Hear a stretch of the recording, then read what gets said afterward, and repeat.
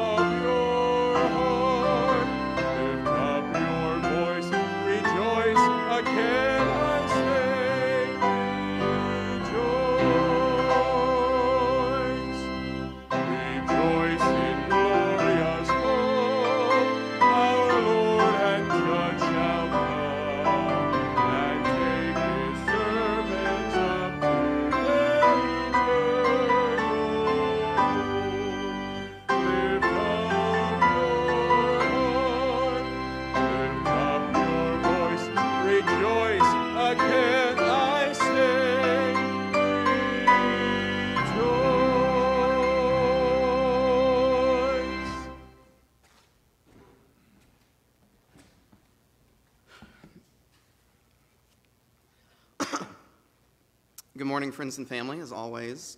I hope you and yours are doing well on this cool and crisp Sunday morning. Um, and at this time, I would invite you to um, bow your heads and to pray with me, um, just reflecting on a personal conversation that I've been having with God um, throughout this past week. Let's pray. Hey, God, if I had to be honest, or at least continue being honest, like so many others, I'm, I would imagine, I have so many questions about so many things. For instance, why are we as a nation still so divided when we desperately need to come together? Why are innocent lives being taken by senseless acts of violence that serve no means or real purpose? Why does Thanksgiving and the holiday season have to be different this year? And although vaccines are in the works, thanks and praise be to you for this, why are things getting worse with COVID 19?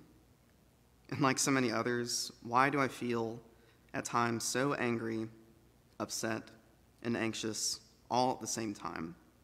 And also, like so many others, why do I feel so alone? And yet, as you tell us in the book of Lamentations, I call this to mind, and therefore I have hope. The steadfast love, the Hesed of the Lord, never ceases. His mercies never come to an end. They are new every morning. Great is your faithfulness. The Lord is my portion, says my soul. Therefore, I will hope in him. And in our gathering this morning, may our questions, our thoughts, feelings, and whatever we're experiencing find their purpose and meaning in worship as we remember your steadfast love and your faithfulness. Amen. And very appropriate, excuse me, very appropriately, um, I also invite you to uh, the responsive reading from the 100th Psalm. I will read the light print, and I invite you to read the bold print. Make a joyful noise to the Lord, all the earth. Worship the Lord with gladness. Come into his presence with singing. Know that the Lord is God. It is he that made us, and we are his. We are his people and the sheep of his pasture. Enter his gates with thanksgiving and his courts with praise. Give thanks to him, bless his name. For the Lord is good, his steadfast love endures forever, and his faithfulness to all generations. Amen. Come, ye thankful people, come.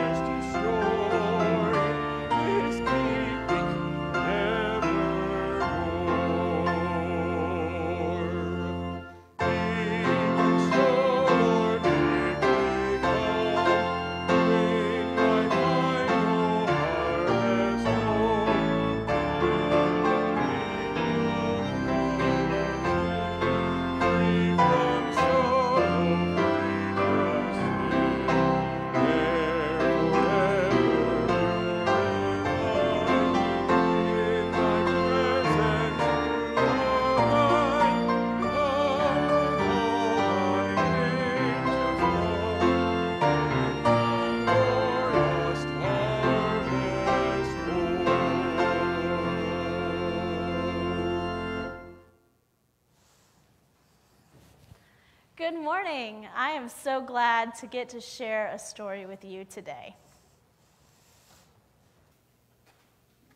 Today is a special day in the circle of the church year. Today is the very last Sunday in the great green growing days before Advent begins. As we say in Godly Play, today is an ending that's like a beginning, and a beginning that's like an ending. This Sunday has a special name. It's called Christ the King or Reign of Christ Sunday. And on this day, we remember that all of our trips around the church year are bringing us closer and closer to God's dream coming true. It makes sense that today's parable is one of the very last ones Jesus shared with his followers before things ended and began again. Not long after Jesus told this story, he went to the cross and died, and then was alive in a new way. It was an ending that was like a beginning, a beginning that was like an ending. In this parable, Jesus tells us more about what God's dream coming true is like. He says that sometimes we are like sheep.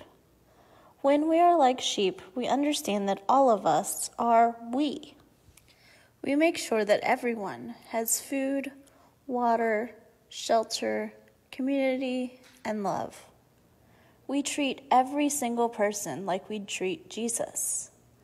Everyone belongs inside the sheepfold because everyone is made in the image of God.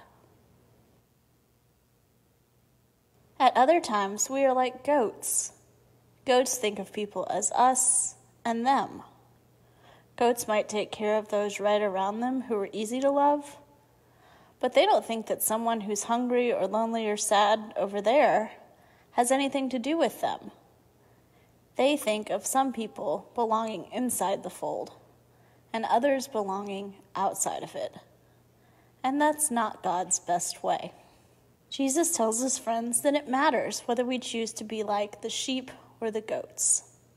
When we treat other people well, we treat Jesus well.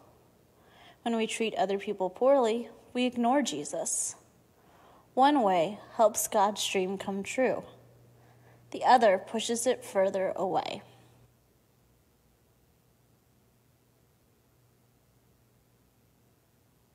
I wonder which way we will choose today.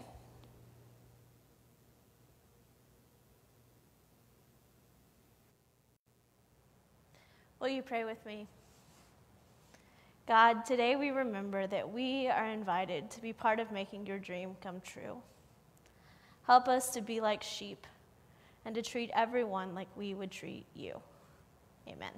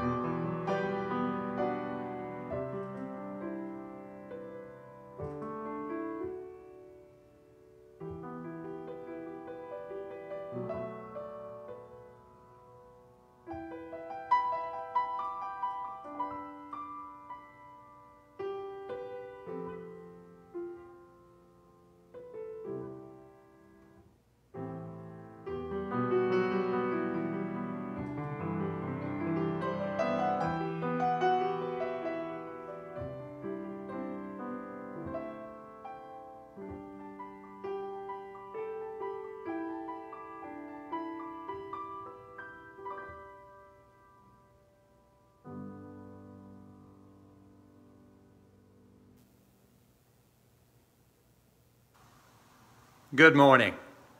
This is a reading from Matthew 25, beginning at verse 31.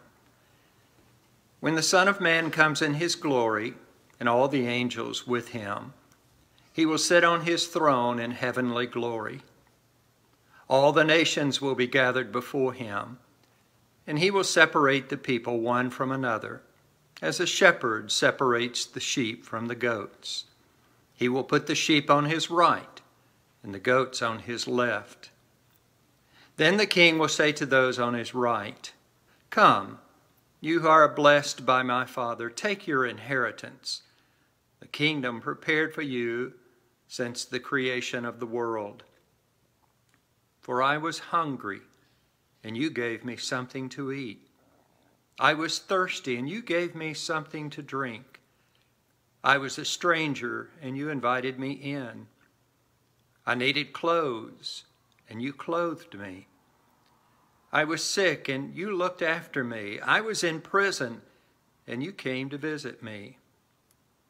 Then the righteous will answer him, Lord, when did we see you hungry and feed you, or thirsty and give you something to drink? When did we see you a stranger and invite you in, or needing clothes and clothe you? When did we see you sick, or in prison and go visit you? The king will reply, I tell you the truth. Whatever you did for one of the least of these brothers of mine, you did it for me. Then he will say to those on his left, Depart from me, you who are cursed, into the eternal fire, prepared for the devil and his angels. For I was hungry, and you gave me nothing to eat. I was thirsty, and you gave me nothing to drink. I was a stranger, and you did not invite me in. I needed clothes, and you did not clothe me. I was sick and in prison, and you did not come to visit me. They also will answer, Well, Lord, when did we see you hungry or thirsty or a stranger or needing clothes or sick in prison and did not help you? And he will reply, I tell you the truth. Whatever you did not do for one of the least of these, you did not do for me. Then they will go away to eternal punishment, but the righteous to eternal life. May God bless the reading of his word. Thanks be to God.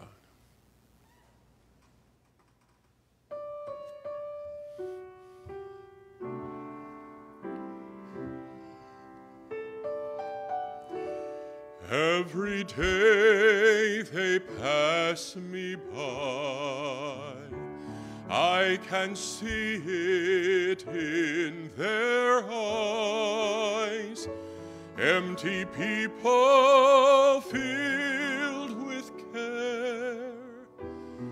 headed who knows where. On they go through private pain, living fear to fear.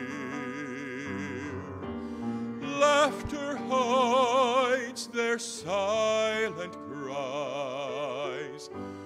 only Jesus hears.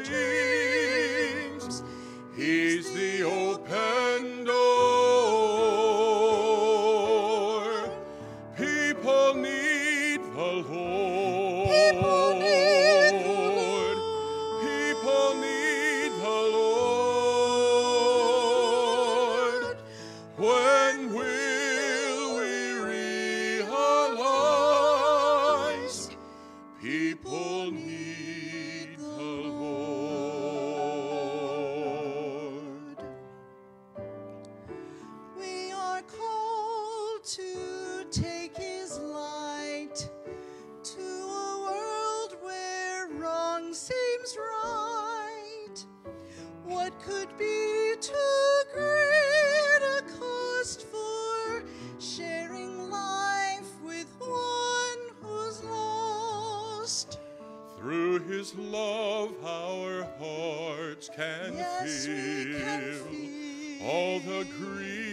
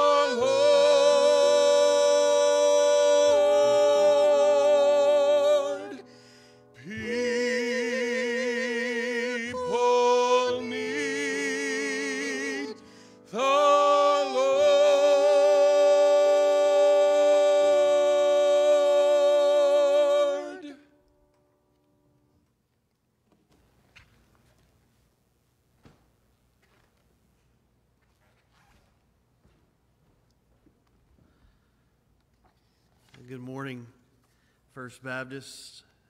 It's good to be with you today, especially on this Christ the King Sunday. Let's say a prayer before we get into the sermon moment.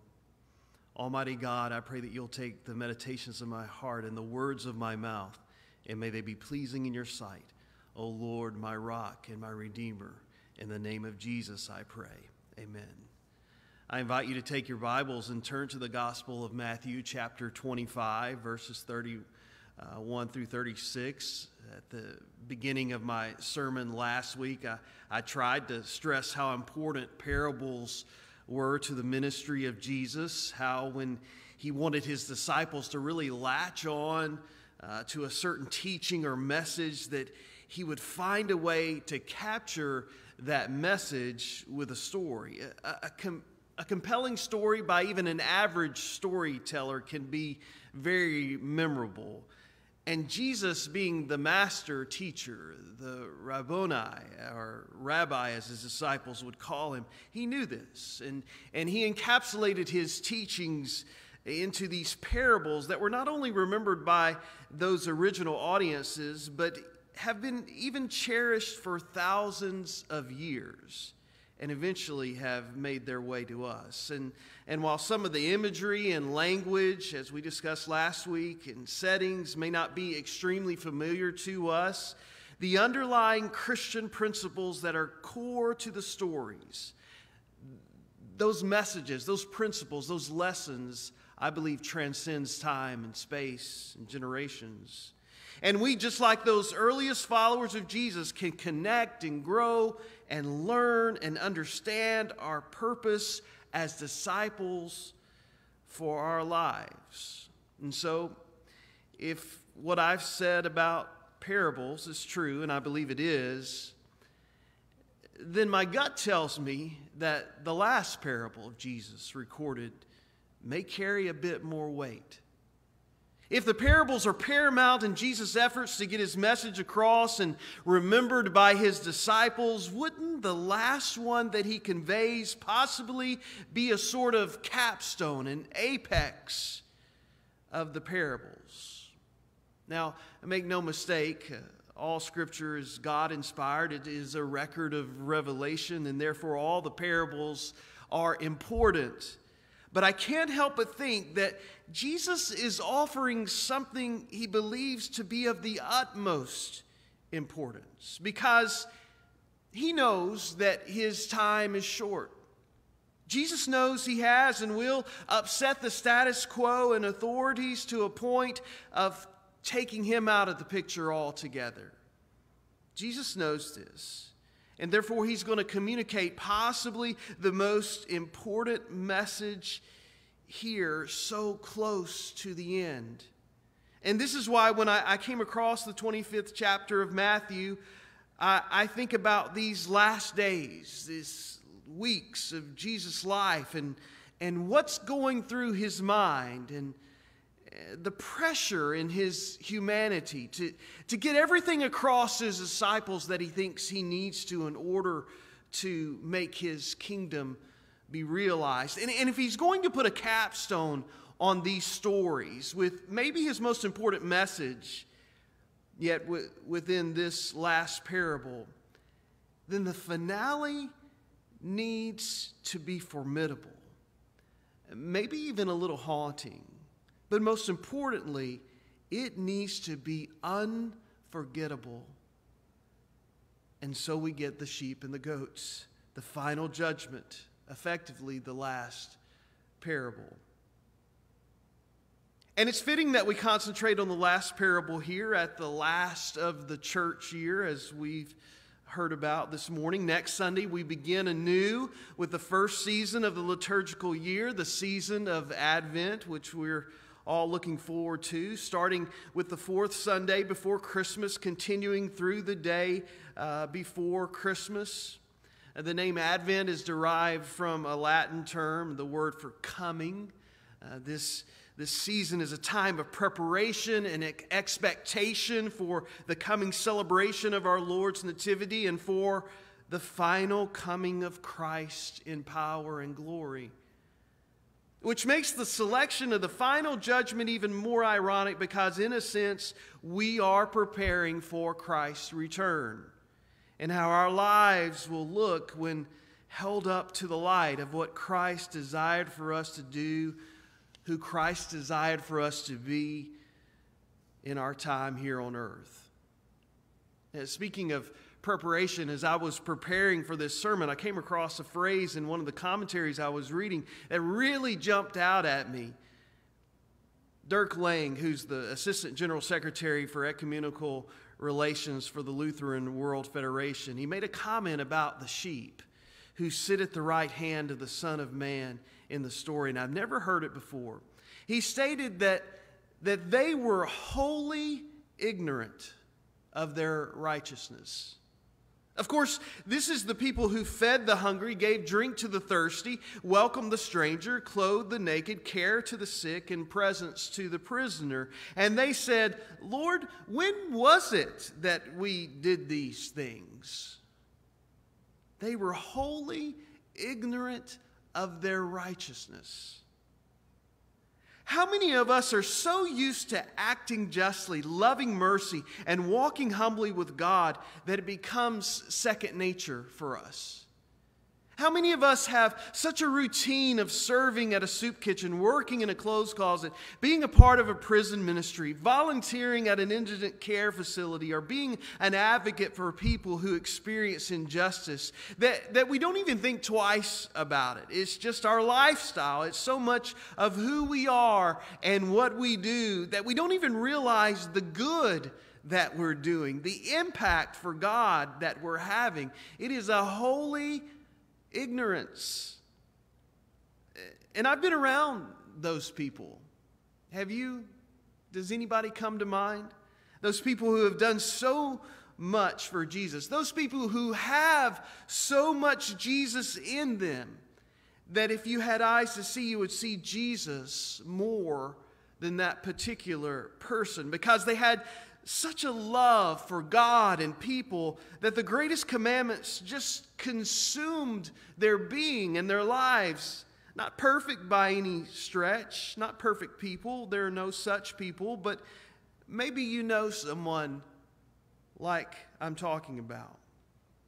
You know, there was this uh, gentleman in Texas who was a member and deacon of my church, and I can vividly remember on several different occasions where I would have a conversation with somebody in town and it would be totally unrelated to the church, and, and that someone would tell me about how that particular deacon had helped them in some way. The time frame would vary from like yesterday to five years ago. I was vi- visiting an older couple once who were new to town, and they had lots of needs, uh, impoverished, living on disability checks, barely able to make it. And, and it was actually around this time of year, it was around Thanksgiving. And I asked if the church could help them with food for the holiday. And they said, Oh, that's nice, but our neighbor who we just met insisted that he help us with a Thanksgiving meal. And I said, Oh, that's wonderful. And when they proceeded to tell me their neighbor was this particular deacon that I was referring to, I found out several years after coming to the church that this particular deacon was also involved in an organization called CASA. Maybe you've heard of it, which is a program for court appointed special advocates. And these, these advocates, they go to court and they are a voice for abused and neglected children, somebody to be there with them, to help them in court. And he went through the training to be one of those advocates at age 75 just because he wanted to help. I, I, found out several years later, as I said, that that was what he was doing. His wife told me at his funeral that he not only prayed every day, but did so at dawn every day. And she said he would be in another room, but he always prayed aloud. And sometimes she would listen, and he always prayed for me as his pastor, and he always prayed for the church every day. I caught him one time at the city dump of all places because once a year you could take out brush or something else to dispose of at the city dump. And I said, Hey, I didn't know you had that much brush in your yard. His pickup was just filled with brush. And he said, I don't, but my neighbor Sue does. And, and you know, her husband passed away last year, so I thought I would help her out. I, I think you see what I'm talking about. It reminds me of the little boy who was talking to his dad about asking Jesus to come into his heart. And he said, Dad, if I ask Jesus to come live inside me, won't he stick out? There are people who have so much Jesus in them that he literally sticks out in their lives. And we should aspire to be those people.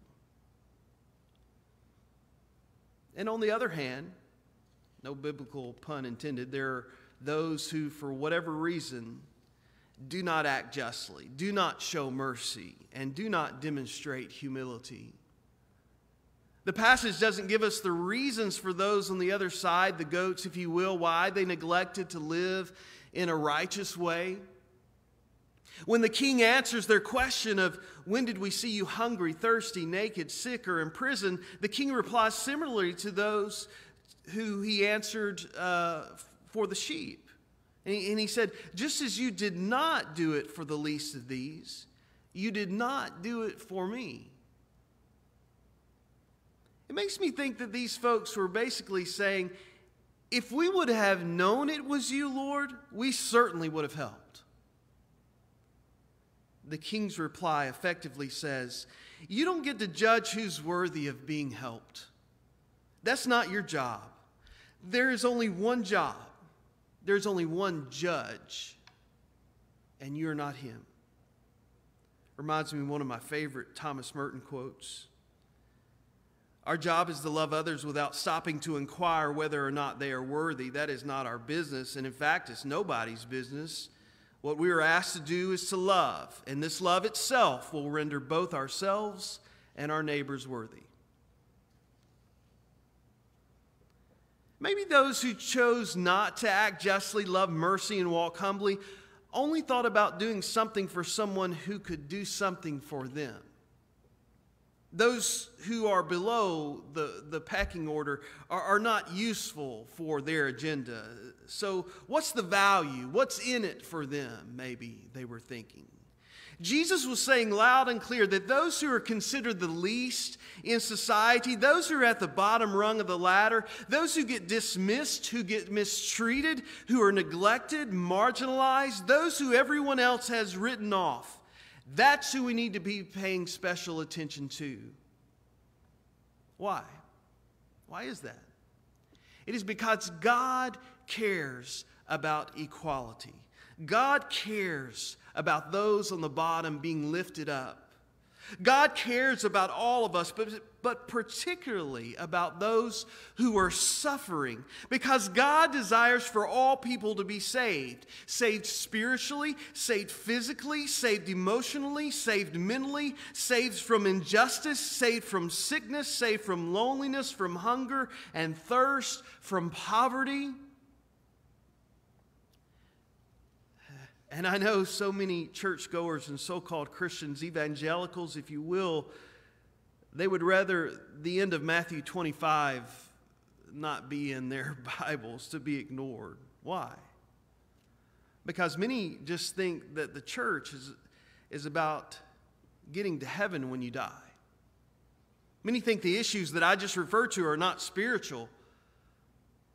But I, have got news. These matters are at the heart of spirituality, especially the spirituality of Jesus. And if someone wants to talk about eternal life, this is the passage to talk about it. If someone wants to talk about heaven and hell, you can't leave out what Jesus specifically says about eternal punishment and eternal life. And that is, if we are not working towards a food secure world, a more hospitable, welcoming of strangers kind of world, if we're not working towards a more healthcare secure type of world and towards a more caring, restorative, rehabilitative type of justice system, these, according to Jesus, are the things we need to be worried about if we really want to be worried about heaven and hell. And especially so for those at the bottom of our society. Don't get me wrong, I, I, I get it. I, I, know why many would rather not deal with such big problems and would and, and concentrate harder on what many would call more spiritual matters. I, I get it, but our world right now is in desperate need of some Matthew 25 sheep kinds of people.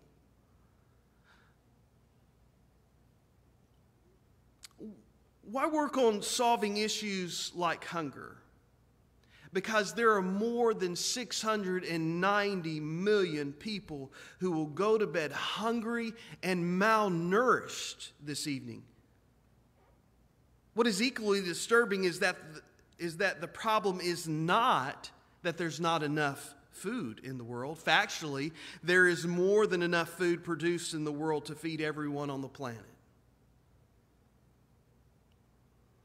Another element of Matthew 25 speaks of caring for the sick.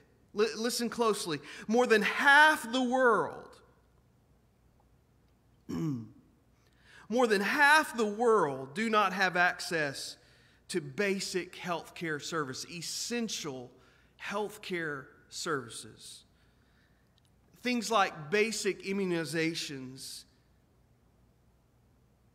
insecticide treated bed nets to prevent things like malaria. Simple, basic healthcare things that most of us take for granted. Half the world is in jeopardy right now. And that's why Matthew 25 is so relevant. Another element of the parable did, did you know that percentage wise, the United States has more prisoners than any other nation in the world? I wonder how much of that is recidivism. How many repeat offenders? And how much of that has to do with our lack of restorative justice or rehabilitative focus in our justice system? Because people didn't care for the prisoners, didn't go visit them. We may take that literally, but I think Jesus was saying more than that.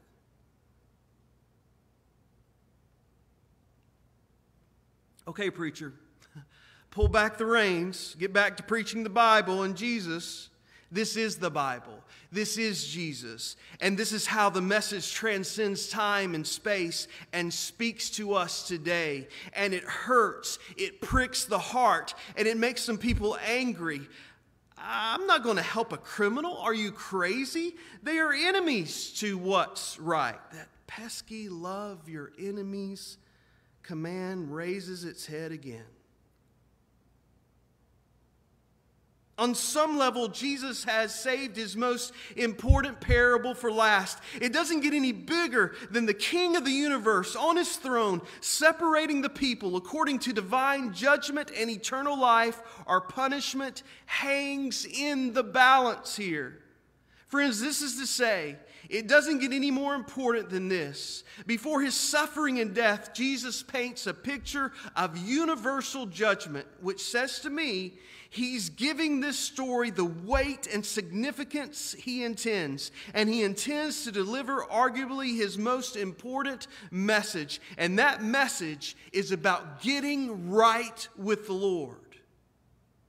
And at least in this passage, getting right with the Lord may not be what you're thinking. Getting right with the Lord of the universe means getting down in the muck and mire with those who are at the bottom of society and making things right for them. That makes things right with the Lord. What you've done to the least of these, you've done to Him. In the final judgment, what we will have done for the least of those in our time and space, at least according to this passage, will be of the utmost importance. In the final judgment, what will we have done for the least of these in our time and space? Those deemed blessed by the Father those who enter into the kingdom, prepared for them from the foundation of the world, eternal life, they are the ones who are wholly ignorant. They are the ones that have so much of Jesus that he comes out in everything that they do. They're the ones who know that the least in the world's eyes are eternally important in God's eyes. This is what it means to bring the kingdom of God to earth as it is in heaven. Because in heaven, there won't be any unquote unquote least of these. In heaven, there won't be any least of these. All will have enough. Everyone will have a seat at the table. And the prayer is Actually, the prayer is to bring that to where we are the kingdom of heaven to earth. And that's his last message before he goes to the cross. That's what he apparently wants his disciples to latch on to the most. And so that's what he offers to you. You're his disciples. Now you are the church. So go be the church. Do these things. Because in the end, it's what's going to matter. Let's pray together. A gracious and loving God, thank you so much for this time uh, together. I thank you, God, for the virtual connections that we have made today. I thank you for also the connections that we've made with you and your inspired word. Now, God, I pray that we will grow in this word, in this message, in this last parable. That we may grow in such a way that we that our lives flesh out its importance.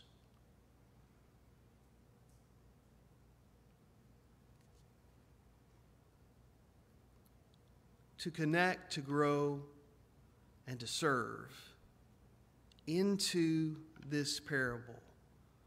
May our lives reflect what Jesus wants us to be in this world. And God, for those who are the least in our society, may your Holy Spirit nudge us, challenge us, encourage us to lift them up. Be the hands and feet of Jesus.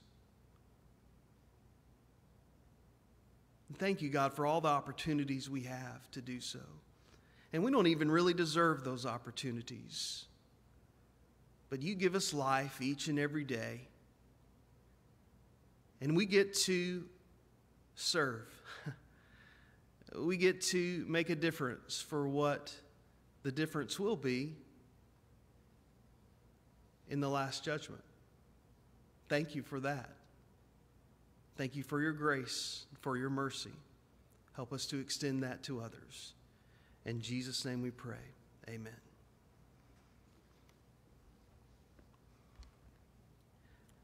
I have really enjoyed uh, the, the service today.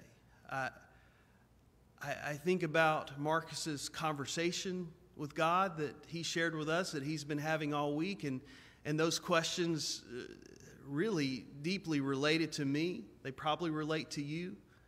We're all going through this together and struggling in various ways, some in very common ways. And so we ask those hard questions together. And we trust that God will come and make a difference and, and help us and, and walk alongside us. Probably the best children's sermon I've ever seen, Amanda. I, I'm just going to say that out loud. It, it, it was. It was so perfect to encapsulate that parable. And I really had I really had a temptation today. and I don't know, maybe I should have done it. Maybe it was God telling me, is just to replay that children's message and go home because it was that good. It was perfect. Um, and Richard and Lois, thank you so much for a song that's been uh, a part of my uh, soundtrack of life. I can remember from just a little guy listening to. Uh, especially in revivals. I can remember sitting out in the pews and somebody, a guest singer, coming in and, and, singing that. And even as a little guy, touching my heart and thinking about the words of that. And um, we have a, a, virtual Bob Browning sighting today. Uh, how good it was to uh, see our former pastor and uh, thankful for him. And uh, today I'm thankful for all of you. And I pray that you have the most wonderful Thanksgiving. Yes, it will be very different for a lot of us. And so I, I hope that while you're being very thankful around your tables and, and reaching out to family, I, I pray that you may also reach out to someone outside of your family who may be isolated, who needs to hear a voice and to know someone cares. Make that a goal this, this coming week. God invites you into relationship. He does that through Jesus Christ. An atoning death, a sacrifice so our sins don't separate us from God. And you can reach out to God, and it's a gift, and you can unwrap that gift and be in relationship with Him. And I hope that if you've never launched into that relationship, that you will today. God is present wherever you are and loves you. Loves you more than you can imagine and wants to be in relationship with you. Reach out to him today. For all of us, we have our marching orders. Matthew 25 uh, probably could be preached every Sunday. And so I pray that it may revive your hearts, that it may uh, we may renew our commitments to serve those who are in need in our community. First Baptist, you are the church. So go be the church, act justly, love mercy, and walk humbly with God. Amen. God be with you till we meet again.